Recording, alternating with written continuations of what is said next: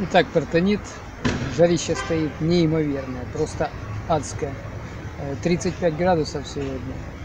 В Ялте, кстати, третий день тушат пожар в ущелье Учкош. Ну, Жара стоит неимоверная. Вот. Сегодня я решил совершить паломничество в Космодемьяновский, э, подворье Космодемьяновского монастыря, в Партоницкий храм. И вот как иногда бывает, на карте нарисовано одно, идешь, вернее, собираешься идти в одну сторону, а ноги немножко сворачивают в другую, как бы что-то ведет, ну, как бы не, не- туда, куда нарисовано. Вот так получилось сегодня, и действительно я посмотрел, не знаю, почему мне так показалось, что это будет Сократ, но так или иначе я прошел мимо другого храма. Ну и, естественно, совершая паломничество э, в один храм, пройти мимо другого, не посетив его, это было бы кощунство. Вот. Я зашел посмотреть, что это за церковь, ну и обо всем по порядку.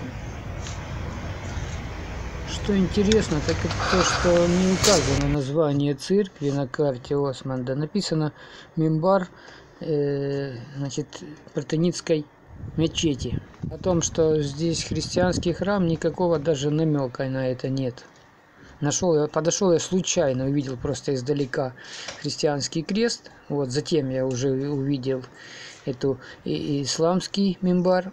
Вот, это меня заинтересовало, я просто свернул, поднялся уже к этой церквушке. И уже подойдя ближе, я прочел, что это храм Благовещения Пресвятой Богородицы. Храм сам по себе небольшой, но очень уютный. Найти его несложно, он в поле зрения, совсем рядом возле автостанции поселка. Рядом с храмом находится небольшая колокольня. Внутри храма, конечно, очень тихо-тихо и спокойно. Пресвятая Дева, Мать Божия, благая Богородица, не остави нас своею вечною и доброю молитвою. Вознеси над нашими главами и душами аки голубица,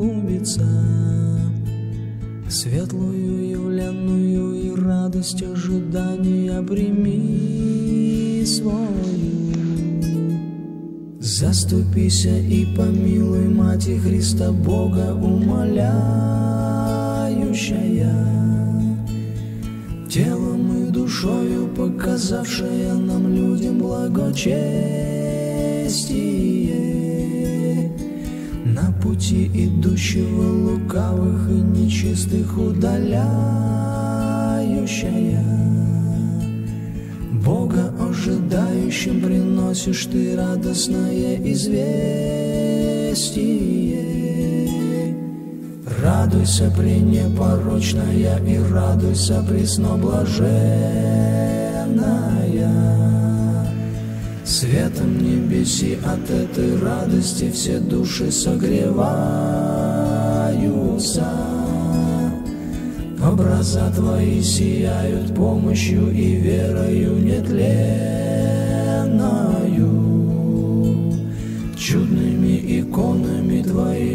разум с телом укрепляются.